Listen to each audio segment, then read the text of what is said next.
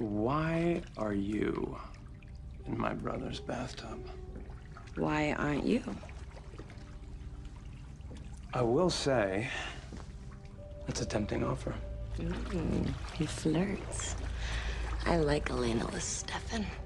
You know, human looks better on you than I would have guessed, Katherine. I think you just accidentally gave me a compliment. No, I mean it. You sitting here all weak and vulnerable, it works.